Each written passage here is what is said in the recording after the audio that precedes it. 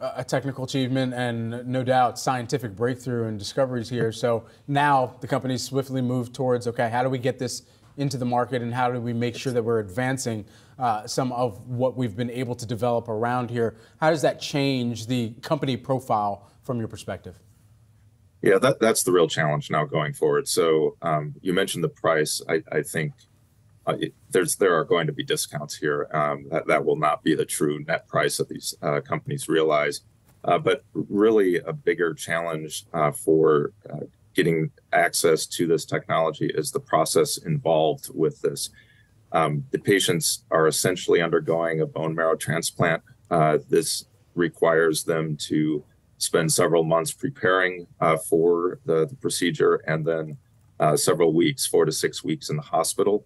Um, as you can imagine, that's uh, very difficult for a lot of people to uh, stomach, um, and that is the the real challenge here is is trying to um, market this technology in the face of this uh, relatively challenging procedure. I do think it will be limited to the most severe of these patients, um, of, of, sickle cell patients. Uh, but again, for, for those patients who are willing to do this, uh, it, it can provide a lifelong cure.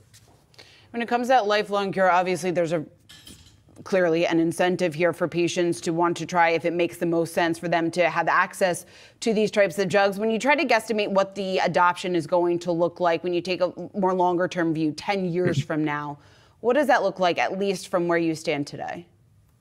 Honestly, it looks like low single digit percentage. Um, I, I, do think this that is a, a, kind of a ceiling on the uh, number of patients who are severe enough that they would undergo this uh, procedure. Um, but these are patients who are in truly bad shape. Um, patients, you, you, can see uh, 13, 14, 15 year old patients with stroke, heart attack, never mind the you know excruciating pain that they go through uh, when they do have uh, the crises, you know, going to the hospital and uh, for, for multiple days to you know treat the pain and, and uh, other effects from the disease.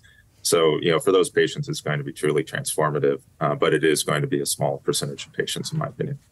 David, Anjali here. I know I've heard similar, uh, in part because of uh, access issues in terms of location, in terms of the price point.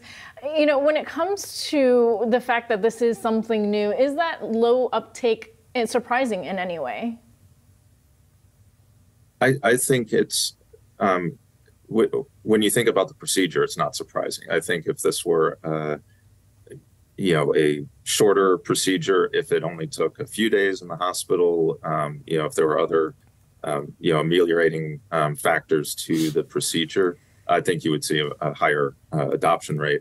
Um, but yes, I think the, the, the real barrier here is the uh, procedure itself, the time it takes to do it, and the um, you know difficulties involved with it. You mentioned access and sites. That's that is going to be another issue.